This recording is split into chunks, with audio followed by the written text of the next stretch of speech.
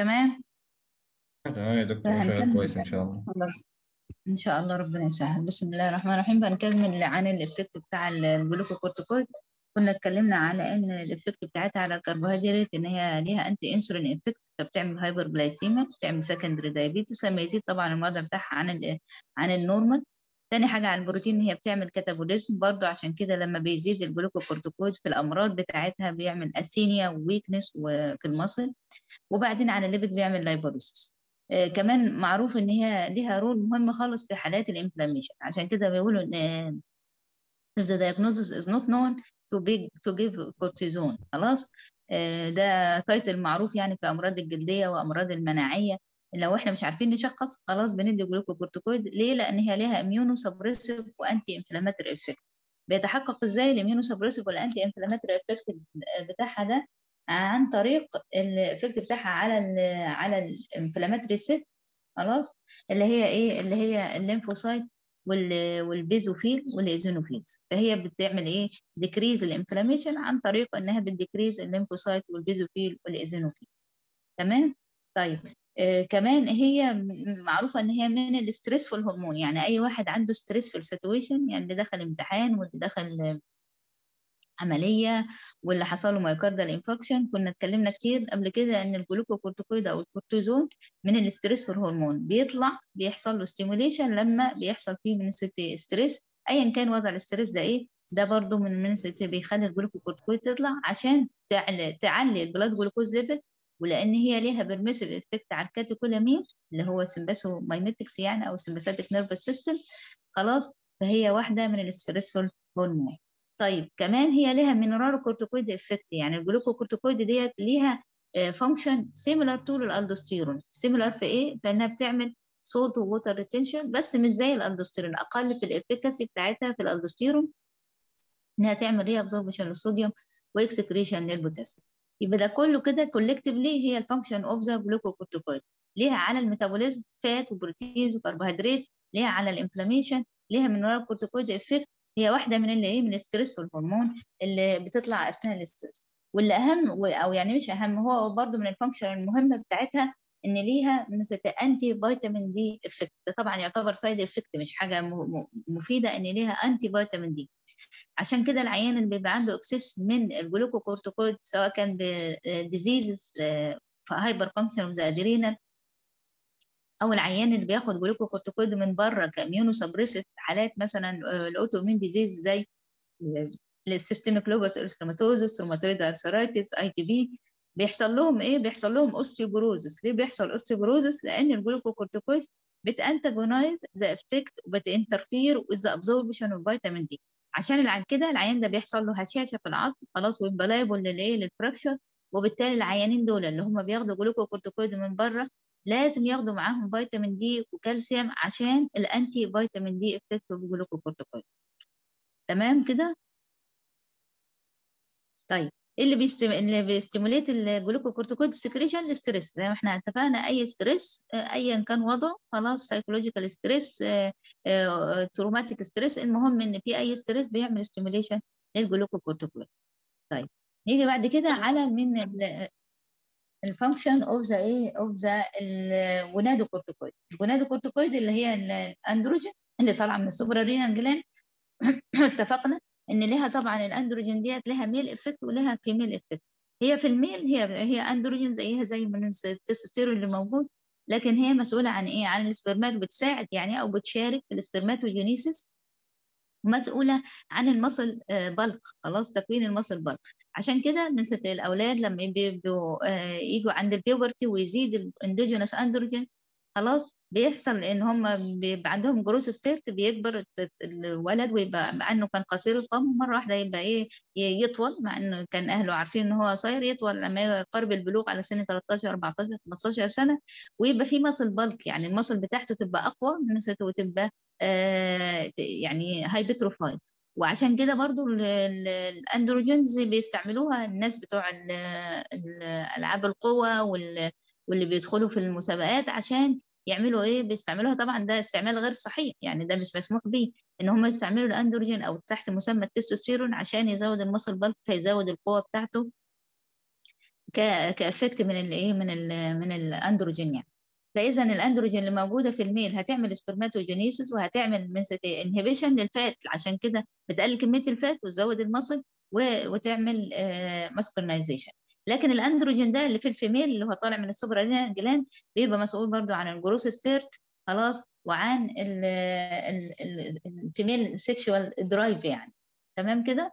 هي عندها أندروجين زي ما اتفقنا وده مسؤول عن ال growth spurt وال development كمان of pubic وال axillary hair طيب إحنا كده خدنا mineralocorticoid و glucocorticoid ثم gonadocorticoid. أما ال catecholamine اللي هي تحت مسمى الأدرينالين والنور أدرينالين خلاص ال function بتاعتهم إن هم بيعملوا إيه؟ ال epinephrine اللي sympathetic effect طبعا على ال heart خلاص فبيعمل كل ال function of the heart بيزودها خلاص. ودي metabolic effect. وعلى إن النور ادرينالين لها effect على ال peripheral blood vessel إنها بتعمل peripheral vasoconstriction عشان كده عيانين العنايات كلهم لما يحصل لهم shock وإن ال shock دي ما تبقاش reversible خلاص بنحطهم على ال vasoconstrictor اللي هو يتحط على نور أدرينالين عشان يعمل peripheral vasoconstriction by the effect بتاعته على الايه peripheral blood vessel وبالتالي يعمل restoration لل blood pressure ويصلح ال shock. كده إحنا بدأنا نفهم أكتر إيه هي ال function بتاع كل هرمون وإيه هي إيه آه ال stimulatory اللي بيعملها ست... الاكشن يعني اللي يعملها stimulation تمام كده يا شباب؟ تمام يا دكتور. تمام يا دكتور. طيب لو أنا لو حبيت أسأل حد فيكم يقول لي إيه هو ال main stimulus خلاص. for mineralocorticoid secretion مين اللي هيرد عليا عشان أعرف إن هو تمام فعلا زي ما قلت electrolyte electrolyte abnormality أو hypotension أو hypovolemia تمام. طيب إيه هو ال bad side effect of ال glucocorticoid عايز حد تاني يرد. bad side effect منها المناعة بتضعف ومنها إن هو بيعمل. osteoporosis آه،. بس ب- ب- بحافظ على حوار ال osteoporosis إن أنا بديله فيتامين D وكالسيوم. موضوع ال- برافو. المناعة لو حصل infection بيتعامل معاه يعني systematic يعني. تمام. طيب مين اللي هيقول لنا لو حصل shock irreversible shock ماشي. في عيانين أدرينالين. العيانين النور ادرينالين عشان بيعمل إيه النور ادرينالين peripheral vasoconstriction. من ال peripheral vasoconstriction. تمام. يبقى أنتوا كده الحمد لله. أنا عايزة بعد كده حد من البنات يتكلم عشان نحس برضه إن الدنيا إيه شغالة معانا كويس. خلاص؟ آه نيجي بعد كده لل abnormality في ال function of the إيه of the adrenal gland طبعا ال abnormal function of the adrenal gland يا إما تاخد ال cortex يا إما تاخد ال medulla خلاص؟ يعني يبقى في abnormal function يا إما في ال cortex يا إما في ال medulla بناء عليه حسب ما ال- ال- ال lesion هيبقى موجود هيعمل لي يا إما بزيادة بال function يا إما في نقص في ال function فال abnormality of the adrenal function ديت ممكن تعمل لي excess glucocorticoid production ودي تديني حاجة اسمها ال Cushing syndrome يا إما excess mineralocorticoid production ودي تعمل لي ال Conn's syndrome خلاص؟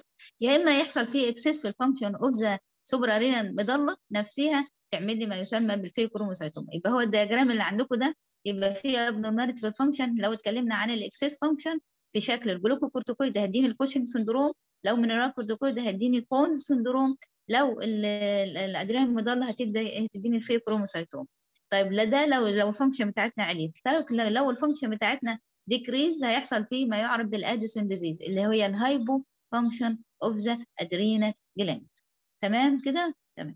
طيب نيجي ندخل scheme بس كده إن ندخل بيه على ال- الأمراض اللي إحنا هندرسها كأمراض بطنة يعني يبقى عندنا broad line كده فيبقى الدنيا أوضح. لو ال Cushing syndrome ده إحنا اتفقنا اولا إن الكوشنج ده هيبقى فيه زيادة في ال glucocorticoid. فالزيادة ال glucocorticoid ديت يا إما هتكون بنسميها كده يا إما ACTH dependent يا إما ACTH independent يعني يبقى إذا مصدر زيادة ال glucocorticoid. لو هو ACTH dependent هتبقى المشكلة فين؟ هتبقى المشكلة في ال pituitary يعني اذا ال adrenal gland حصل لها زيادة في ال secretion ال glucocorticoid secondary لل hyperfunction of the pituitary اللي طلعت excess ACTH production تمام؟ ده يسموه إيه؟ إحنا لسه ما وصلناش لل table اللي تحت. لكن إحنا في الأول هنعمل scheme يعني ال adrenal function هيزيد ال glucocorticoid فيها لو ال ACTH طالع من ال pituitary خلاص؟ فهيعمل hyperplasia لل suprarenal gland فتطلع glucocorticoid وهتبقى هنا مغلوبة على أمرها إن هي زودت ال glucocorticoid عشان ال pituitary هي السبب. يا إما إن يكون هو إيه لا مش السبب في ال pituitary ده هي ال adrenal قررت من نفسها إن يحصل فيها إيه يا adenoma يا hyperplasia يا malignancy خلاص؟ فطلعت هي من نفسها الايه ال glucocorticoid in excess. ده يسموه إيه ال Cushing syndrome يا إما ACTH dependent يا إما ACTH independent طيب لما يحصل بقى ان المحصله زياده في ال glucocorticoid هيديني إيه شكل العيان ده هيديني ال table اللي تحت الكوشنج الازرق لا الاخضر اللي تحتيه هيديني هيديني شكل مختلف للعيان اللي هو إيه عنده altered appearance اللي هو بيبقى شكله moon face يعني وشه مدور خلاص ليه لأن إحنا قلنا ال glucocorticoid بت affect على ال fat distribution خلاص وعلى ال RBCs formation والقصة دي فإذا هيبقى شكله altered appearance بيبقى moon face وعنده truncal obesity وفي سيننج في ال extremities يعني ال abdomen بتاعته هي اللي, فيها obesity وال extremities ال upper وال lower limb تبقى thin فيبقى ده ال appearance بتاع العيان مختلف. في bruising ليه؟ لأن إحنا قلنا إن في ال muscle كلها هنا هيبقى فيها إيه؟ هيبقى atrophy يعني ال muscle هي هيحصل فيها ضمور وبالتالي العيان ده أي خبطة يحصل عنده إيه؟ bruising يحصل عنده ecchymosis تمام؟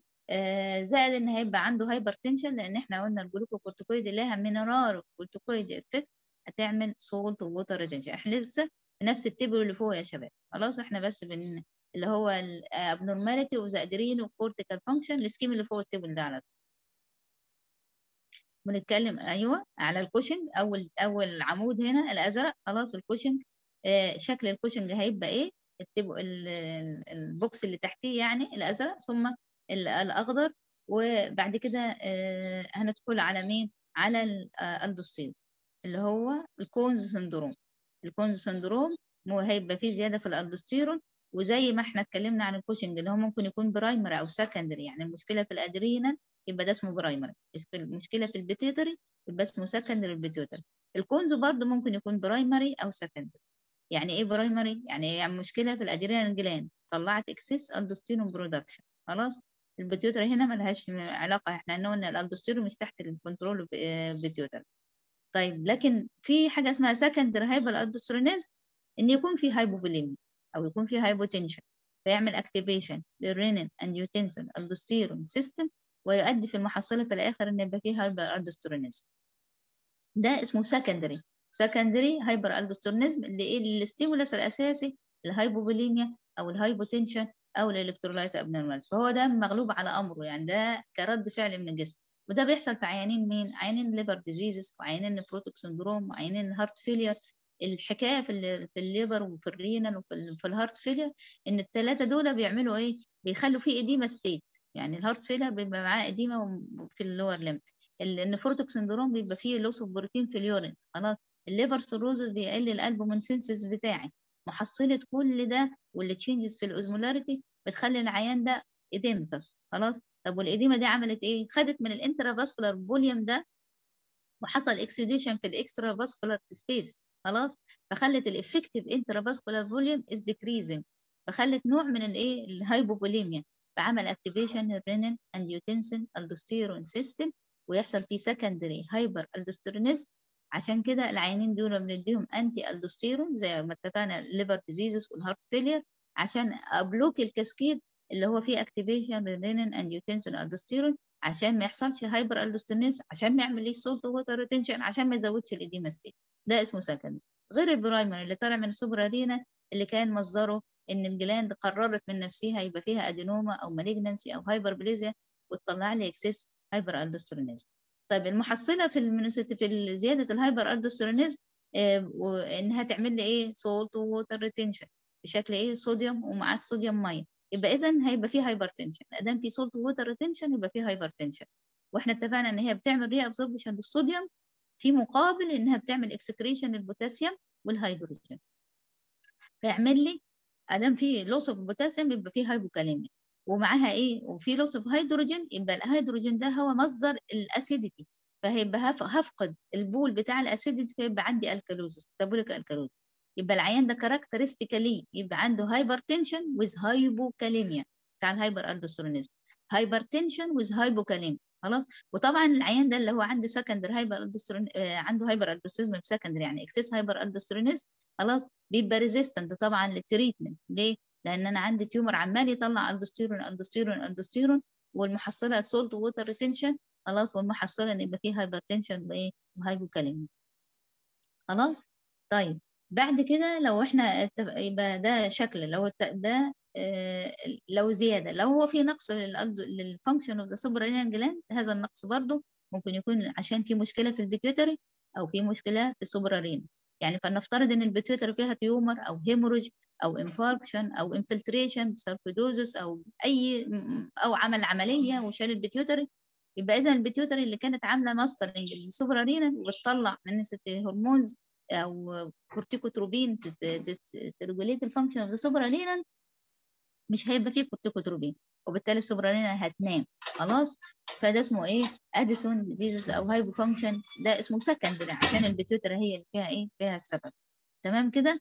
طيب. برضو الحكاية دي تحصل برضو لو العيان بياخد glucocorticoid from outside يعني العيان بتاع ال autoimmune disease ال systemic lupus وال rheumatoid arthritis وال autoimmune hemolytic anemia اللي معتمد في ال glucocorticoid في العلاج بتاعه على ال glucocorticoid ده أنا كده عملت له حاجة اسمها إيه؟ negative feedback mechanism إيه ال negative feedback mechanism إن أنا خدت كورتيزون خلاص؟ الكورتيزون ده زود ال endogenous كورتيزون فال pituitary هتحس إن في زيادة في ال endogenous كورتيزون فده يعمل عليها إيه؟ negative feedback يقول لل pituitary نامي ما تطلعيش ال ACTH خلاص.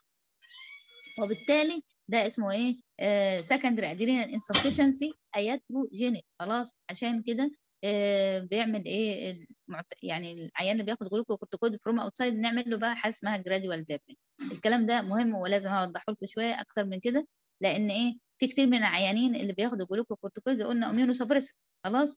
ال side effect بتاعتها إنها تعمل negative feedback على ال pituitary فتقلل ال ACTH فأنا لو سحبت بقى ال glucocorticoid from outside مرة واحدة خلاص هيحصل فيه آه ال pituitary كانت نايمة نوم عميق خالص ماشي؟ وبالتالي مش هيطلع منها ACTH وبالتالي هيبقى العيان ده من غير suprarenal كأن ما فيش أي شيء بيعمل stimulation لل suprarenal فيعمل ما يعرف بالإيه؟ بال crisis لو هو بياخد glucocorticoid from outside خلاص ومرة واحدة شلنا ال glucocorticoid عشان كده لازم ساعتها نسمح بان ال pituitary ديت خلاص تعمل إيه؟ تصحى بالتدريج. فاعمل إيه؟ gradual tapering of the glucocorticoid لما ياخد glucocorticoid أروح عاملة لها decrease يعني اللي ماشي على 20 مللي جرام أخليها 15 لمدة أسبوعين ثلاثة وبعدين خمسة م... أنزل 15 ل 10 خلاص وبعدين أنزل ال 10 ل 5 أنا في. في ال cascade اللي أنا عملته ده عملت إيه؟ عملت gradual decrease لل glucocorticoid اللي أنا بديها من بره بحيث إن أنا أسمح إن ال pituitary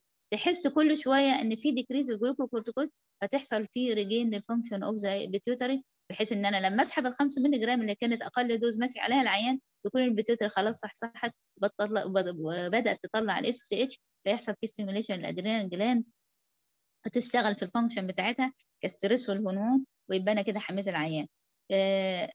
كتير من السيناريو ده إحنا بنحكيه إن عيانين كتيرة أو شباب صغيرين أو بنات يعني خصوصا في الأرياف يكونوا غاويين آه على وش جواز فيروحوا.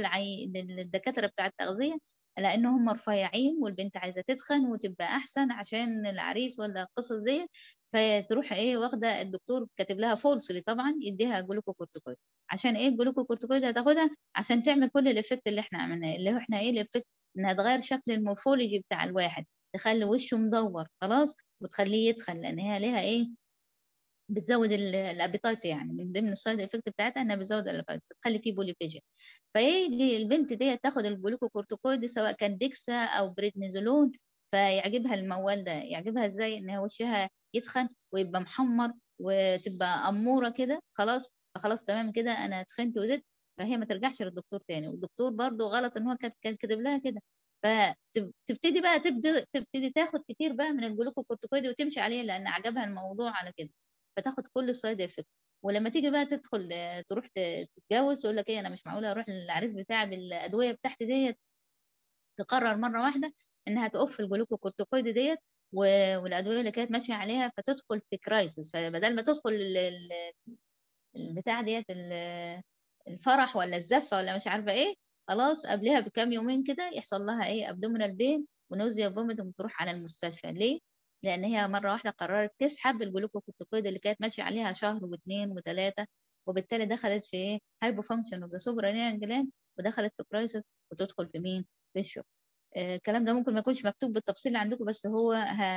يعني مهم إن إحنا نبقى فاهمين إن ال glucocorticoid اللي بتتاخد من بره بتعمل suppression لل pituitary adrenal axis وإن إحنا لما ناخد ال glucocorticoid أكتر من 20 مللي جرام لمدة أكتر من شهر لازم نعمل لها gradual tapering عشان نسمح بال recovery of the pituitary adrenal axis تمام؟ طيب ال hypofunction of the adrenal gland ممكن تبقى acute زي ما إحنا اتفقنا إن حد بطل مرة واحدة أو ممكن يبقى العيان عارف إن هو عنده hypofunction of the of the adrenal gland ويبقى chronic ال acute هتيجي ب acute abdominal pain وتيجي بشكل إيه؟ vomiting و diarrhea و dehydration و hypotension وطبعا معروف ال hypotension ليه؟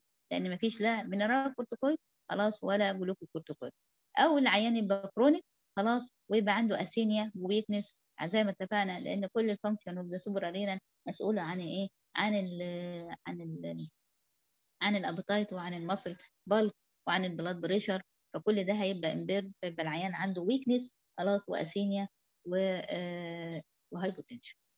تمام كده؟ تمام معايا؟ هو الاديسون تمام يا دكتور. الأديسون يا دكتور. الأديسون ليه بيقل؟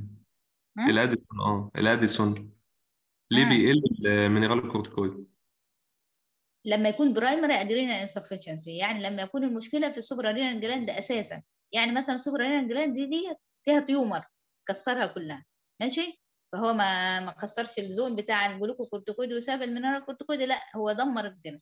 لما يكون العيان ده مثلا عمل جراحة وشال ال- ال- عشان كان عنده renal tumor مثلا وشال ال renal وال suprarenal لما يكون العيان ده اتخبط وعمل حادثة حصل له hemorrhage في ال suprarenal gland هتت- هتتدمر ال function في ال suprarenal gland كلها. لما يكون العيان ده حصل له tuberculosis في ال suprarenal خلاص لما يكون حصل له metastasis في ال suprarenal فكل ده هيؤدي إلى إيه؟ primary adrenal insufficiency يعني هيخلي ال suprarenal كأنها مش موجودة وال function كل ال function بتاعتها تبقى lost فما يبقاش لا فيه secretion لا glucocorticoid ولا mineralocorticoid ولا اندو تمام كده؟ طيب لو لو primary decrease في ال glucocorticoid ده أديسون برضه ها؟ يعني نتيجة نتيجة مشكلة في لا ال ال adrenal يعني hypofunction في, في كل ال suprarenal مش هياخد بس ال glucocorticoid يعني هو آه، ال gland دي هتلاقيها بكام من كام جرام ها؟ فما فيش disease هياخد ال zone واحدة ويسيب الباقي. تمام؟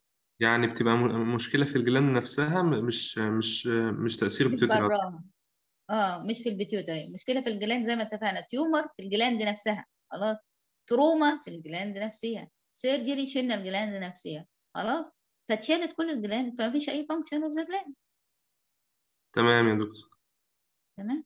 ال diagram اللي بعديه بتاع اللي فيه ال sympathetic ده ملوش دعوة بيه ملوش دعوة بيه ده diagram غلس وما فيش فايدة منه فما تبصوش عليه.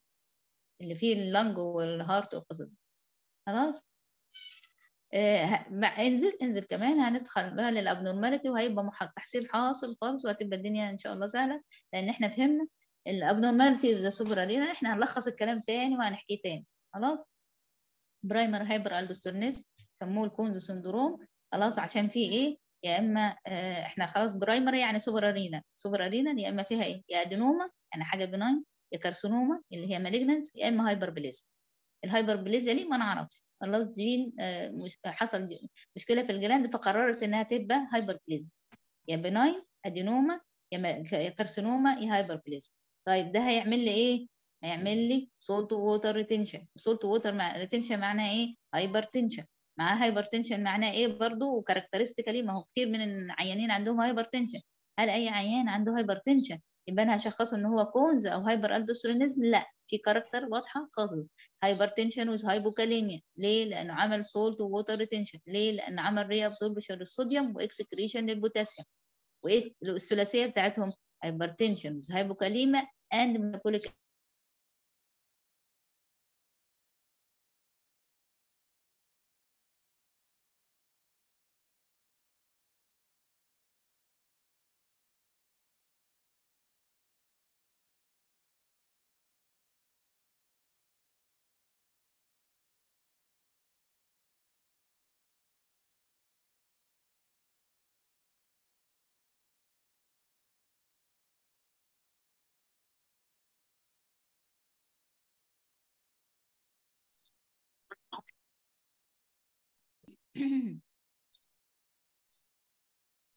خلاص كنا وصلنا لغاية العيان اللي عنده 25 سنة. تمام يا ولاد؟ آه، وحصل له hypertension وجاي المستشفى بضغط 220 على 120 أو 200 على 100 فهل ده من الطبيعي ان أنا الاقي hypertension في عيان صغير في السن؟ لا مش ده مش طبيعي. لازم على طول اشك في secondary hypertension خلاص secondary ان في سبب السبب هو اللي مخلي العيان الصغير في السن ده عنده hypertension أو على الأقل أعمل exclusion لل secondary cause فلو أنا عايز أشخص إن ده hyperaldosteronism وده hypertension خلاص لأن ده واضح إن ده أول حاجة hypertension secondary بيبقى resistant to treatment خلاص يعني العيان ممكن ياخد ثلاثة antihypertensive من غير ما ما ي response لل treatment لأن في سبب بعيد عن اللي أنا بعالج فيه خالص. فإذا لازم أحط clue ان ان في hyperaldosteronism ال clue إن يبقى في hypertension فلازم أطلب للعيان ده routine lab investigation منها مين؟ الصوديوم والبوتاسيوم. وأنا إيه من جايل هنا إن أنا أشوف البوتاسيوم والصوديوم بتاعي اخباره إيه لأن لو في hyperaldosteronism هيبقى فيه salt water retention فيبقى العيان ده hypo hypernatremia و hypokalemia لو لقيت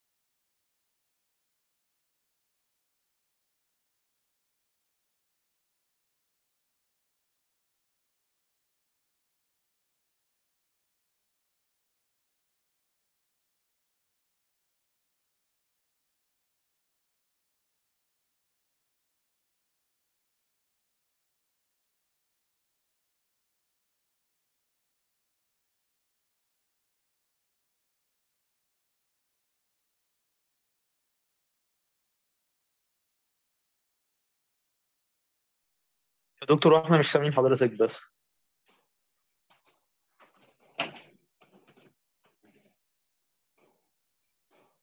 يا دكتور إحنا مش سامعينك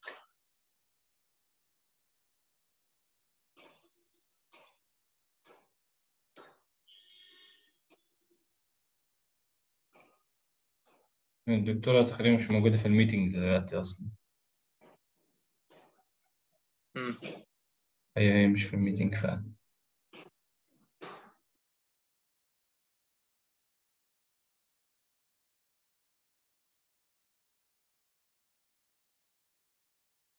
other clinical manifestation ممكن يحس بيها العيان اللي عنده hyperaldosteronism انه ممكن يبقى عنده البوتاسيوم لما ما يقل أو لعبة ال electrolytes سواء كان الصوديوم والبوتاسيوم والكالسيوم ممكن ت affect على ال neuromuscular function وال integrity بتاعتها. فالعيان اللي عنده hypokalemia بيبقى عنده weakness ممكن يبقى يحصل له حاجة اسمها periodic paralysis يعني إيه؟ كل شوية يحصل له weakness في ال upper وفي ال lower limb ويبقى نوع من ال paralysis خلاص. وده برضو characteristic لحالات اللي هي ال hyperaldosteronism تمام كده؟ ده بالنسبة للايه لل hyperaldosteronism يبقى فيه hypertension وال hypokalemia وال hypokalemia هتعمل العيان ده muscle weakness خلاص؟ وممكن تدخله في ال paralysis. طبعا التشخيص بتاعي إن أنا اول ما هعمل فلوم هعمل صوديوم وبوتاسيوم وهشوف طبعا إيه؟ الصوديوم هيبقى عالي والبوتاسيوم هيبقى low فأعمل investigation نشوف ال aldosterone level ألاقي الالدوستيرون بتاعي عالي. وبعدين في حاجة اسمها ال aldosterone to renin ratio إيه ال aldosterone to renin ratio aldosterone إحنا اتفقنا ان في كل الهرمونات بتلعب على حاجة اسمها negative feedback mechanism و positive feedback mechanism فاتفقنا في الأول إن ال hypotension وال hypovolemia بتعمل إيه؟ positive feedback mechanism بال activation renin angiotensin aldosterone system خلاص؟ فإذا المحصله إن يبقى فيها الدوستيرون عالي بس اللي قبليها إن الرينين كان عالي. فالرينين يعلى فيعلي الالدوستيرون ففي ratio اسمها aldosterone to renin ratio خلاص؟ المفروض إن ال ratio دي fixed ليها رقم معين أو ليها نسبة معينة حسب ما إيه ال lab بيطلعها. طيب لو أنا عندي primary hyperaldosteronism وال aldosterone طالع كتير من ال suprarenal gland هيعمل لي إيه؟ negative feedback mechanism على ال renin angiotensin aldosterone system ليه؟ لأن الالدوستيرون طالع وهو مكتفي بنفسه. خلاص هو خلاص مش محتاج لهذا ال cascade من ال renin وال angiotensin عشان يعملوا stimulation ده بالعكس هو يقول لهم أنا طالع كتير فبالتالي أنتوا هتناموا أنتوا مالكوش أي لازمة عندي. فيطلع الالدوستيرون كتير والرينين يبقى decrease فيبقى عندي aldosterone to renin ratio فيها بسط وفيها مقام الالدوستيرون عالي خالص والرينين نزل خالص. فال ratio دي تعلى. خلاص لأن المقام البسط يعني اللي فوق عالي واللي تحت نزل. يبقى ال aldosterone to renin ratio ديت characteristically بتزيد في حالات ال primary hyperaldosteronism لكن لو secondary hyperaldosteronism حالات ال liver failure renal failure heart failure hypotension hematemesis hypovolemia كل السيناريو ده هيبقى فيها إيه؟ activation لل renin angiotensin aldosterone system فال activation ده هيعمل لي إيه؟ الرين هيعلى والالدوستيرون هيعلى فتبقى الر- ال ratio ديت إيه؟ fixed تمام كده؟ تمام؟ واصلة الحكاية دي يا شباب؟ مفهومة؟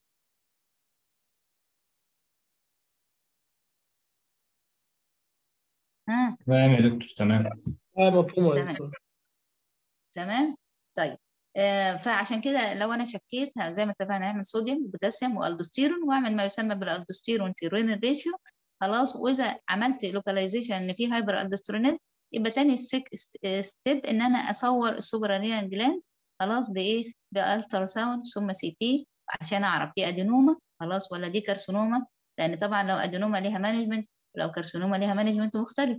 لو هي adenoma يبقى خلاص simply هشيل ال suprarenal gland لو هي carcinoma أشوف في metastasis ولا ما فيش وهياخد chemotherapy ولا ما فيش بعد ال بعد ال surgery هو في الحالتين surgery لكن بعد ال surgery هياخد chemo هياخد راديو هيبقى palliative هيبقى مش palliative خلاص فلازم بعدها بعد ما التصوير هحدد بقى إيه إيه ال line of treatment المحصلة إن أنا هخلص من ال suprarenal وعلى كده. طب لو العيان ده مش fit لل surgery فلنفترض إن العيان ده عنده metastasis خلاص suprarenal هي اللي فيها malignancy مثلا وهو عنده chronic liver diseases renal failure heart failure ومش candidate for surgery يبقى لازم هنا أدي أعمل إيه؟ أدي anti-aldosterone خلاص؟ اللي عنده اللي هو ال spironolactone لو العيان مش fit for surgery أو في عيانين بيرفضوا مثلا. خلاص؟ ولو أنا حتى شخصت إن ده primary hyperaldosteronism لازم في الأول برضو أدي anti-aldosterone عشان أظبط ال blood pressure وأعمل له control لأن ما ينفعش يبقى عيان ضغطه في الميتينات خلاص وأروح مدخلاه واخداه من الدار للنار فدخله على عملية وهو ضغطه 200 وياخد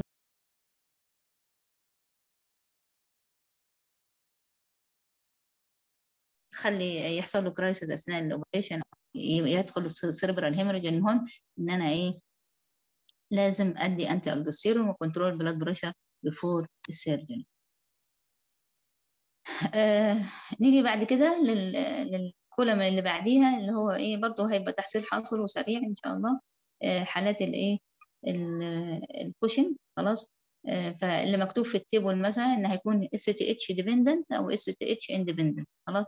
ال ACTH independent اللي هي فيها suprarenal هي اللي فيها function سواء كانت adenoma أو carcinoma أما ال ACTH dependent اللي طالع مين؟ منين ال ACTH طالع من ال pituitary أو من ال hypothalamus لو في ال corticotropin releasing hormone اللي طالع من ال hypothalamus فإذا ال independent في ال suprarenal ال dependent في ال pituitary أو ال hypothalamus أحيانا بيبقى فيه حاجة اسمها ectopic ACTH يعني إيه؟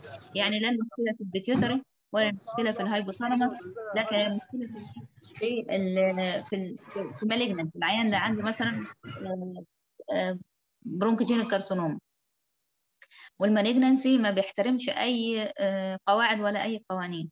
فال malignant cell اللي موجودة في ال في ال في ال lung تقرر من نفسها تطلع ACTH طب أنت مش شغلتك إن أنت تطلعي ACTH هي خلاص ده malignancy don't respect أي rules خالص.